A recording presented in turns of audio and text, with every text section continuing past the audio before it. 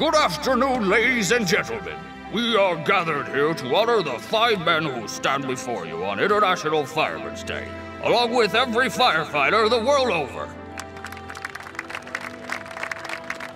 And with that, I'd like to introduce to you today our guest international firefighter, uh, Mr. Toasty, who's come here all the way from China. Thank you.